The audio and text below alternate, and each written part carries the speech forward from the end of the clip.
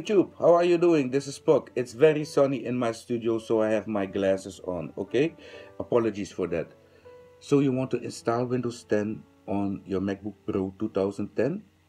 Well, in this video, I'm gonna show you how to get started. I'm not gonna actually install it on my MacBook because I have a lot of work that I did on this MacBook that I just, you know, downgraded to the right version of Mac to continue to do my work on the Mac OS 10.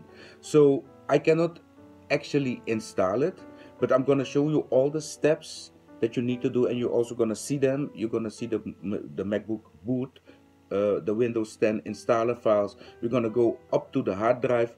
You know, I'm gonna explain exactly to you what you should do and then you can go try do it yourself. What you will need is a USB stick from at least 4 gigabytes or maybe even a little bit bigger.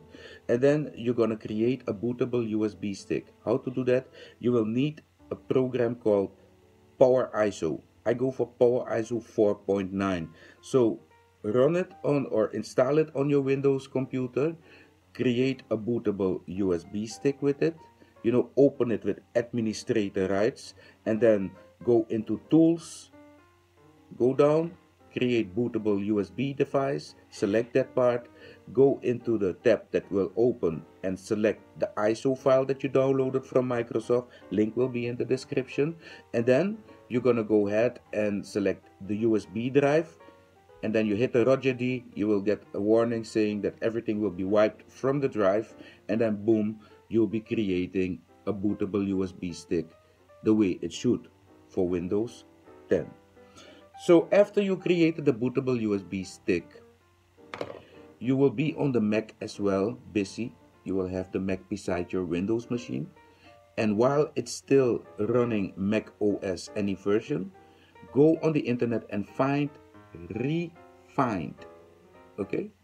So in my previous video, I spoke about Refit, but the guys are not working on Refit anymore and it became Refind. And Refind, it looks way more polished. It looks very nice. So we're gonna install refind install it on your mac reboot and make sure that you see the refind EFI bootloader whenever you're gonna start up your mac.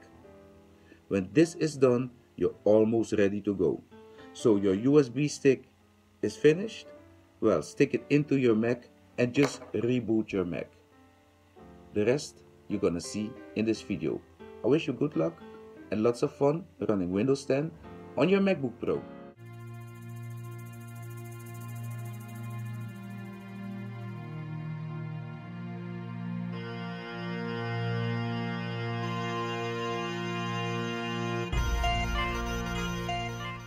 Okay peeps, uh, we installed Refind on the Mac and we created a bootable USB stick. So we're gonna reboot and see what happens. The stick is already inserted hello how are you? You can see me there. And boom we wait a second. We see a white screen and it's loading. And I'm not sure if you will be able to see there it is Refind and uh, besides the X we now also see another icon beside the X.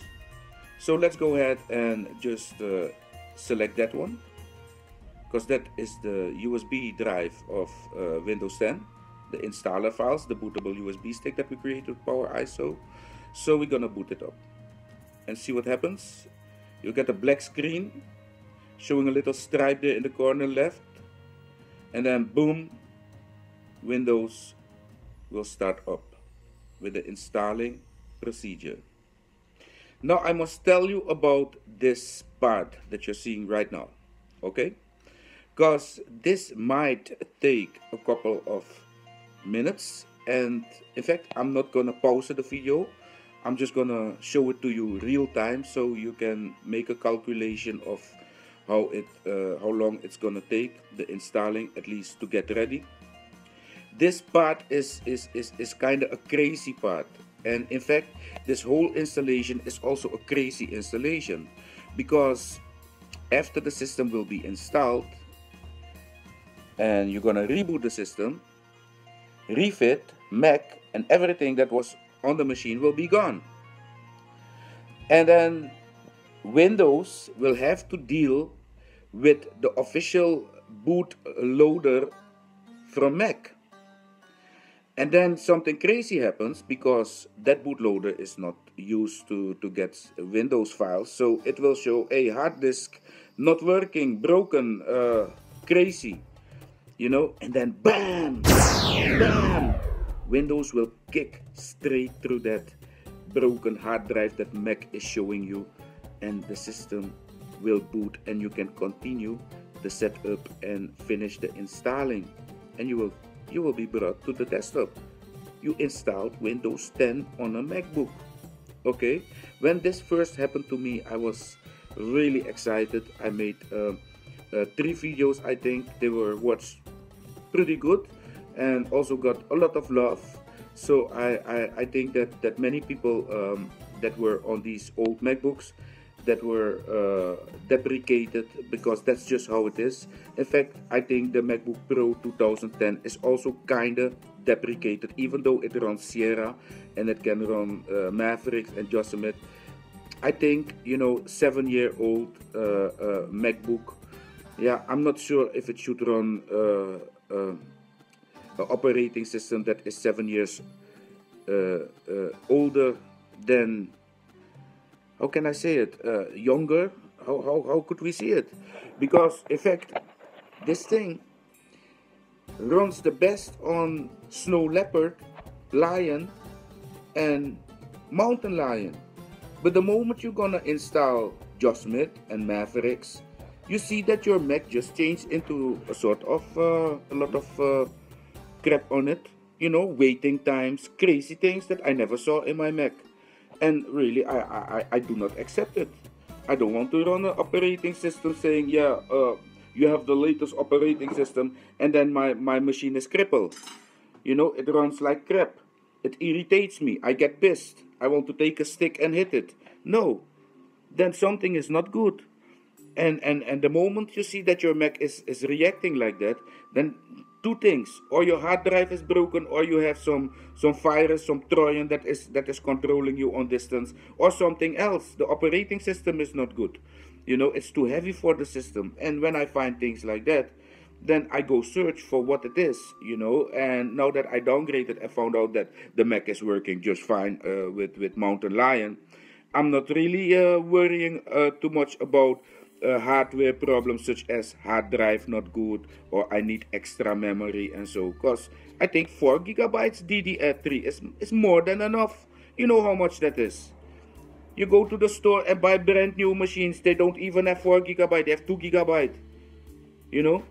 So 4 gigabyte is a lot of memory. No jokes, my friend.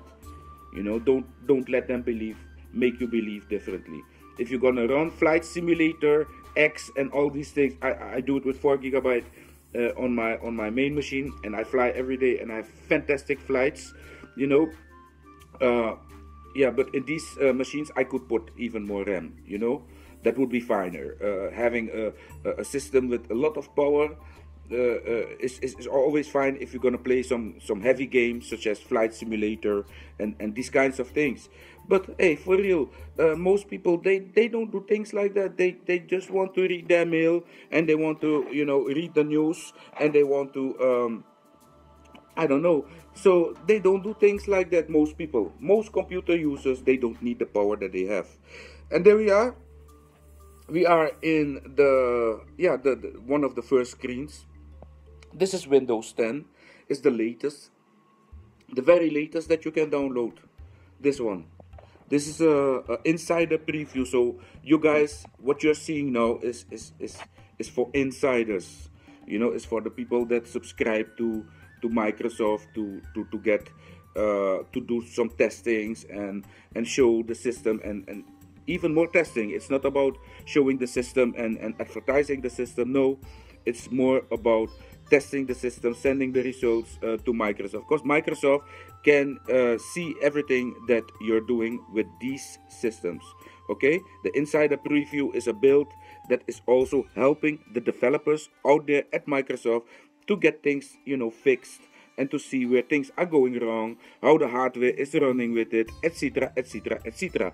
So this what I'm doing is, in fact, if you guys gonna do this uh, inside the previews, Uh, on a MacBook Pro, a machine that wasn't meant to, to, to run Windows, it will be fantastic information for Microsoft.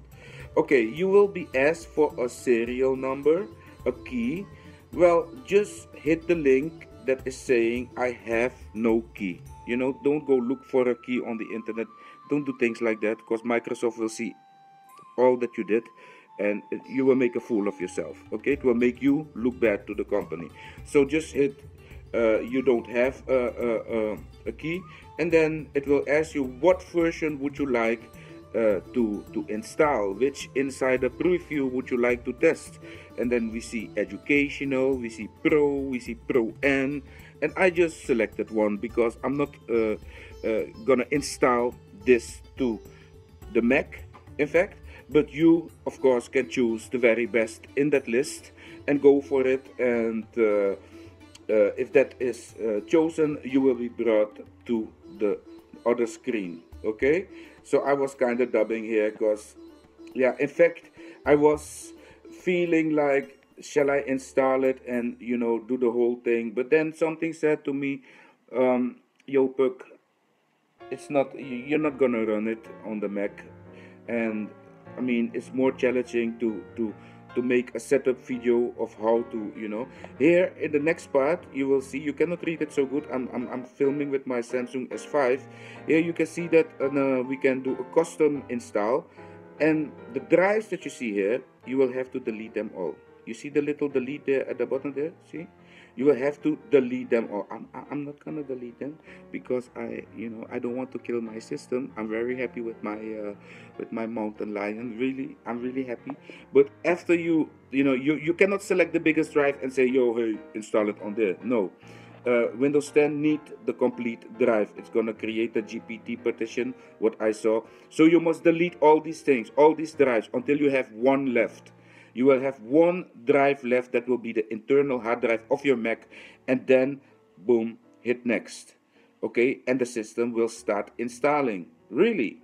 And after the first reboot really you're gonna you, you you're gonna be so scared because you're gonna see some hard drive of your mac that is broken and and you will feel awful when you see that. And then boom windows kicks straight to it and you'll be like wow i never saw a thing like this before. Just like the installation that i did on the on the samsung uh, what was it the 9000 uh, that was effect yeah so crazy the boot screen was showing totally messed up but yeah, as you could see, the thing worked just fine. and the upgrade was done. So that's how to do it, peeps. Let's start up my Mac again.